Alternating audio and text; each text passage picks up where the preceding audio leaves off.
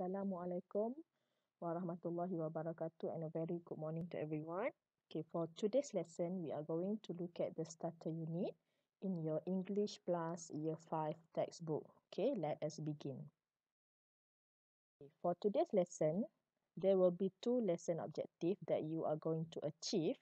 Number one is pronounce all the words correctly. Okay, you are going to pronounce all the words in the slides correctly.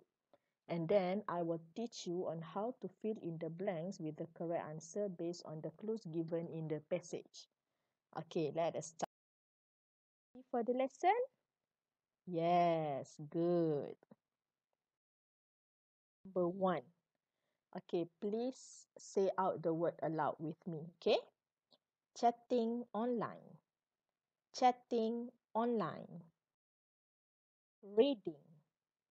Reading meeting friends. Meeting friends. Art. Art. Photography. Photography. Cycling. Cycling. Sports. Sports. Animals. Animals music. Music. Video games. Video games. Watching TV watching TV films. Films. Skateboarding. Skateboarding. Cooking. Cooking shopping. Shopping. Okay, are you able to say out the words aloud with me? Okay, if you want, you can repeat the process again. Okay, let us move on to our next slide. I will teach you on how to fill in the blanks with the correct answer. Okay, for this part, I seek your permission to use Bahasa Melayu for better explanation and you will be able to understand better. Okay. Alright. Now, uh, one thing that you can do for you to fill in the blanks and get all the answers correct is you look for the clue words. Okay, yang pertama sekali, kamu kena cari clue word yang diberikan. Clue word yang diberikan selalunya dia akan bagi sebelum ataupun selepas tempat kosong.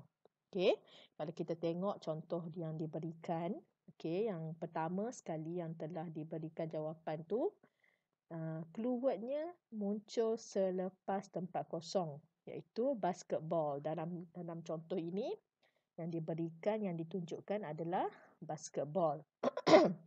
Okey, jadi basketball ni kita boleh kaitkan dengan kategori kategori sport kan? Okey jadi sebab itu jawapan di situ adalah sport. Okey begitu juga dengan contoh kita lihat contoh di bawah. Kita lihat contoh di bawah okey. Uh, awak tengok okey our parents Jen and Ed like books and they are into okey kalau di sini dia punya clue wordsnya adalah books kan? Okey so jawapan di sini apa Alright. Okey, awak isi tempat kosong ini dengan jawapan yang betul ya. Okey. Untuk tips yang kedua adalah look at the pictures given.